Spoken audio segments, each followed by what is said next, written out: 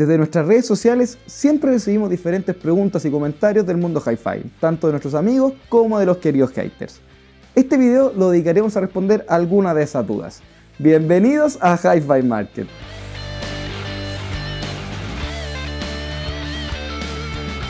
¿No se supone que el mejor conductor es el oro?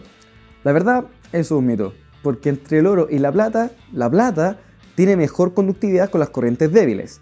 Y cuando se oxidan los terminales de plata, este óxido ayuda a mejorar la conductividad entre el terminal del cable y tu equipo. Mientras que el oro se usa normalmente en terminaciones como las bananas o la de espada, ya que las terminaciones no se oxidan. ¿Qué pasa con la impedancia cuando amplificas A más B? Esta pregunta se repite mucho.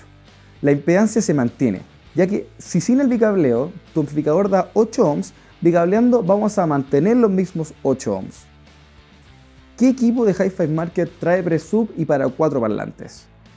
En este caso, el AXR81 de Cambridge Audio tiene pre-out y además cuenta con conexión para 4 parlantes, por lo cual podrías conectar 4 parlantes, incluso diferentes zonas, más un subwoofer. Lo mismo aplica para el AXR100, la única diferencia siendo que el AXR100 tiene más potencia, 100 watts por canal versus los 85 del AXR85. Además de tener entrada óptica. Tengo unos parlantes y no sé qué les pasó, pero suenan mal. Además, a uno solo le suenan los medios altos y a otro los bajos. ¿Tendrá arreglo?